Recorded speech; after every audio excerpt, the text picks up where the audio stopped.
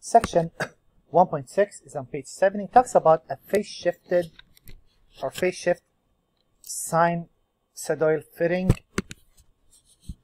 And here, we're to do the same as what we did before. Nothing is to vary now. Okay. Okay, it's freezing up a bit. I'm not sure why it's freezing. I Here we go. Better. Okay, so same as before with one minor exception. One, this is on page 78. Amplitude is 3, nothing changes. 2, period is 2 pi divided by 3. And 3, we have a phase shift. Take this and set it equal to 0. And solve. So here things are slightly different. Now, in physics, they do this. They factor this 3 out, which is a good idea. That says x minus pi over 3. And in doing so, you could see the phase shift automatically.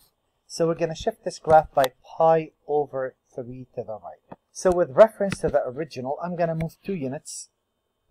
And I'm going to say this is 1 pi over 3. Now, there is a small problem that arises every time you're going to do this. I'm going to show you what that is. I'm going to go up to 3. 1, 2, 3. So those I label clearly for this guy because he seems to be really picky. And I would go down 1, 2, 3. So pretty much whatever I did from the origin, I do now, but I base everything on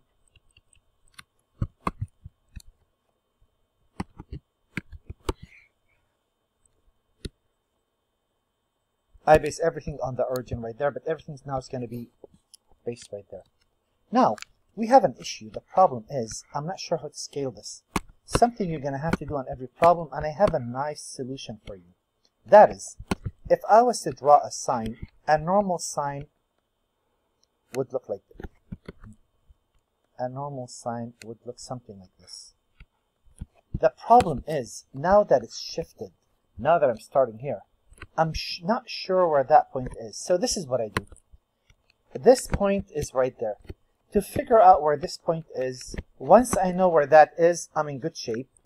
I would say I'm going to take one-fourth of the period like we did before, with one minor exception. I'll add the phase shift. Since I'm no longer starting at zero, if you add the pi over 3 to it, that tells me where this peak is going to happen. That tells me where on this line it's going to hit the amplitude. It's not lined up perfectly. That's okay. So if I would go ahead and figure this out, uh, that's a pi over 6 plus pi over 3. And that would mean what? I'm going to move only a pi over 6. If this is pi over 3, half of it. Or get a common denominator. That is at 3 pi over 6. So think about it. This is pi over 3. For me to make sense, I need that to be over 6. Don't you multiply by 2 top and bottom? So if this is 2 pi over 6, this is 1 pi over 6, this is 2 pi over 6, pretty much by knowing what this point is, it tells me how to scale the x-axis. And I know at 3, so this is 1 pi over 6, 2 pi over 6, 3 pi over 6 is where this point is, 1 fourth plus the shift.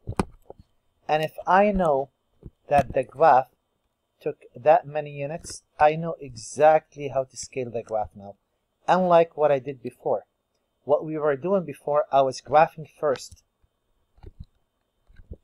And then labeling after. That's no longer allowed because I no longer could scale it properly. And once I know this is 1 pi over 6, 2 pi over 6, 3 pi over 6, 4 pi over 6, 5 pi over 6, 6 pi over 6 or pi. To the right you add, to the left of the origin you subtract. I need a period to the right and a period to the left of the starting point. Sketch a period to the right and another period to the left of the starting point and you're going to do that on every problem for me on the exam and on the homework. So if you didn't get that fully, that's okay. We're going to tackle it again. Here it is. I'm glancing at this problem, trying to figure out how to graph this. 1, amplitude is 3, 2, period is 2 pi divided by 2, which is pi, and 3, we have a phase shift. Take 2x plus pi, set it equal to 0. x is negative pi over 6. I choose to move 2 units to the left and mark that to be negative pi over, oh, over 2, not over 6. I'm sorry. I'm getting excited now. And the same deal. If I am to look at the basic graph, a graph of a cosine, I know a graph of a cosine looks like this. Well, if I go up to 3, down to 3, and I label those clearly,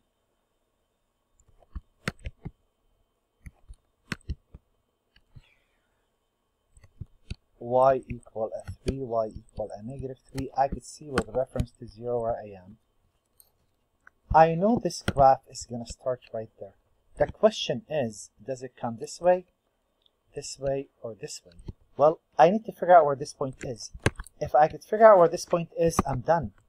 And this is always one-fourth of the period plus the phase shift.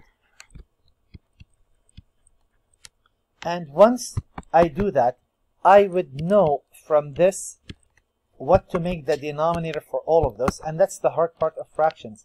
This is pi over 4 minus pi over 2. So the LCD is a 4. That's pi minus 2 pi, negative pi over 4. So I need to make this over 4. Multiply by 2 top and bottom. Doesn't that make it negative 2? Since everything's over, over 4, now I am aware that this is negative 1 pi over 4. This is 1 pi. And I scaled everything according to what's needed. And a graph of a cosine, guess what? At This point I just got is actually that point. So if I know it took that many units, I would know exactly how to sketch one full cycle and the labeling becomes very simple. And if I go to the left, also I know how that works. So negative 1 pi over 4, negative 2 pi over 4, negative 3 pi over 4, negative 4 pi over 4, negative 5 pi over 4, and negative 6 pi over 4. You could reduce, not reduce, that doesn't really matter much to me. The next problem, number 8. 1. The amplitude is 2. The period is 2 pi divided by 2, which is pi. There's a phase shift of 2x minus pi over 2 equals 0. That means x equal pi over 4. And 5, it's negative, so we reflect. So under normal circumstances, I am aware that this graph looks like this. This point is easy. I'll show you where that is on the graph. If I put the grid down, and if I move two units above, two units below, oh, I forgot the phase shift, and I have a phase shift of pi over 4, there we are, pi over 4, y equal a 2 and y equal a negative 2. This point is really right there. That I know, that's easy. The question is, how far do you go to touch right there? That's the point I want. that point is simply one-fourth of the period plus the phase shift. Isn't that 2 pi over 4? Well, hey, if everything's over 4, if this is 1 pi over 4, isn't this 2 pi over 4? 3 pi over 4.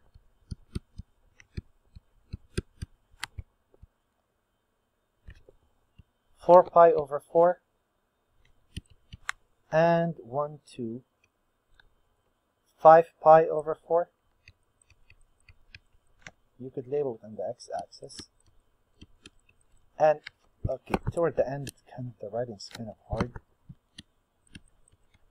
And if you go to the left, do you see each two units count as one? I was able to scale this perfectly now. I'm to move this. Actually, I'll put it right. That's okay. And wouldn't this come up? Now, if I figure that this is too big, I could rescale it, right? There it is. So to the right, this is 1 pi over 4. 2 pi over 4 to the left, that's negative pi over 4, negative 2 pi over 4, and negative 3 pi over 4. So the scaling is perfect and the labeling is perfect. It works identically. What do you deal with a negative? We never deal with a negative. We factor a negative out of this.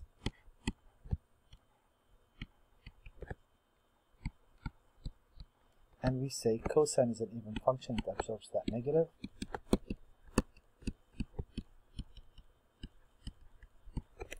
and this problem just became like the previous problem identically. Do we see that? So same as above. The only difference is that the x, the, the amplitude is really 3. I gave you a problem because I couldn't find enough problems to do, so I added one problem for you with a sine. 1, amplitude is 2. 2 period is 2 pi divided by 5. 3, we have a phase shift of, if I take 5x minus pi set it equal to 0, x equal pi over 5. So just to demonstrate this idea of fractions, the annoying part about this for students is not, or the hard part, the challenge, is that the, it is fractions. It's not the graph of a sine or cosine. I'm going to go up 1, 2, and down 1, 2. And I label those for this guy clearly. Now I might have to rescale this. I'll decide y equal 5, y equal 2. y equal negative 2, and this is x equal pi over 5. A graph of a sine wave starts at the origin, this new origin. So again, I am aware how this graph look like. This part is always given, it's right there. I need to know where this is, and I find that by taking one-fourth of the period, one-fourth, the period is 2 pi over 5, plus the phase shift. That would be, that would be uh, pi over 10 plus pi over 5 all over 10 that's 3 pi over 10 for me to make sense out of it I need this to be over 10 multiplied by 2 top and bottom.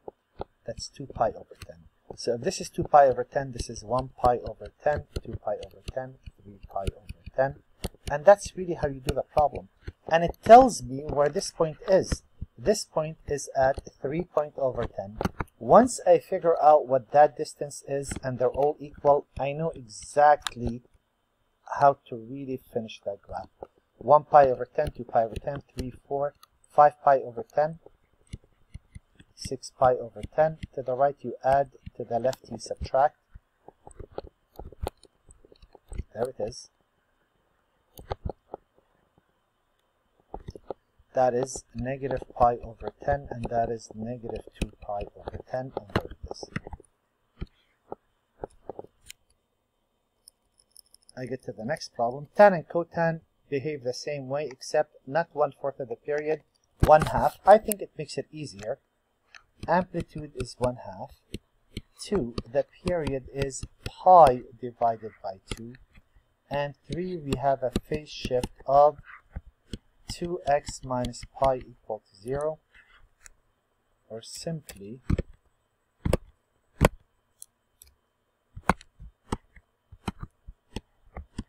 x equal pi over 2.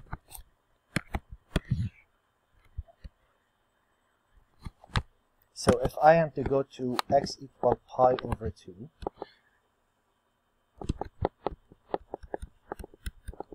and I know cotangent starts on an amplitude uh, uh, uh, asymptote. Now, I know it starts I need to know where that is. Half the period plus the phase shift, just like we did before. That's going to be half of the period. What's the period? Pi over 2. That is pi over 4. Plus the phase shift. That is 3 pi over 4. To make that over 4, that is 2 pi over 4. That means that's 1 pi over 4, 2 pi over 4, 3 pi over 4. So I know this graph is going to run down and, oops, and hit that point right there. And I know that it's going to end right there because those are all equal. If this is 1 pi over 4, 2 pi over 4, 3 pi over 4, 4 pi over 4, I'm going to add two more periods, one to the right, one to the left, just for the heck of it. And that's one is already labeled. And that's already, here we go, 1 pi over 4, 2 pi, oops. 1 pi over 4, this is the origin, 2 pi over 4, 3, 4, 5 pi over 4, and 6 pi over 4.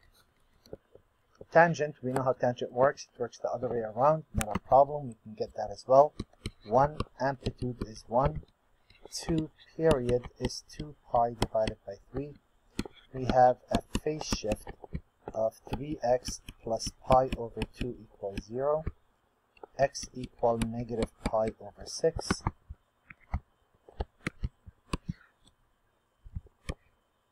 The same deal, I want to rescale this before I start. So I know how it works. I'm going to go to pi over 6. Let's say it's right there. I know the graph of a tangent. Looks like this, but it's negative. Do you see that? Since it is negative, it's going to reflect. Uh, not that color, this color. Well, I know that the graph is going to go through this point. The question is, how far do you draw the asymptotes? Well, no big deal. Half of the period plus the phase shift. Isn't that pi over 3 minus pi over 6? All over 6. That is pi over 6. If this is, if the shift was, oh, the shift was negative pi over 6. I messed up.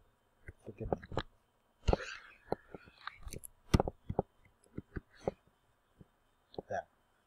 if the shift was originally negative pi over 6, I moved to the left of the origin. This is negative pi over 6, right? And I know